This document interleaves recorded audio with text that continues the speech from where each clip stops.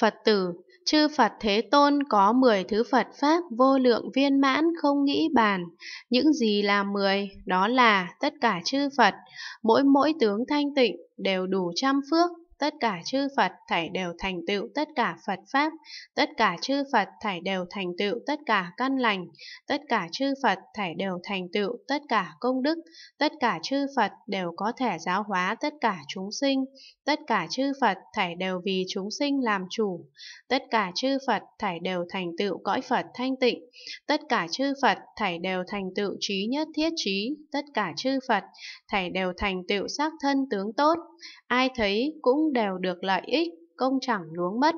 Tất cả chư Phật đều đủ tránh pháp bình đẳng của chư Phật, tất cả chư Phật làm Phật sự rồi, đều thị hiện vào Niết Bàn, đó là 10. Phật tử, chư Phật Thế Tôn có 10 thứ phương tiện khéo léo, những gì là 10? Đó là tất cả chư Phật biết rõ các pháp đều lìa hí luận mà hay khai thị căn lành của chư Phật. Đó là phương tiện khéo léo thứ nhất, Tất cả chư Phật biết tất cả Pháp đều không chỗ thấy, đều không biết nhau, không trói, không mở, không thọ, không tập, không thành tựu rốt giáo tự tại đến nơi bờ bên kia mà nơi các Pháp chân thật mà biết chẳng khác biệt mà đắc được tự tại, không ta, không thọ, chẳng hoại, thật tế. Đã đến được bậc đại tự tại thường hay quan sát tất cả pháp giới đó là phương tiện khéo léo thứ hai. Tất cả chư Phật, vĩnh viễn, lìa các tướng, tâm không chỗ trụ, mà đều biết được chẳng loạn, chẳng lầm. Tuy biết tất cả tướng đều không tự tánh, mà như thể tánh của nó đều kéo vào được,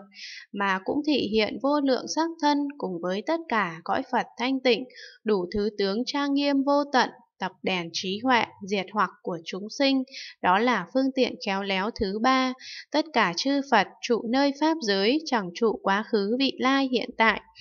Vì như tướng ở trong Pháp tánh không quá khứ hiện tại vị lai ba đời mà hay diễn nói vô lượng chư Phật quá khứ hiện tại vị lai xuất hiện thế gian,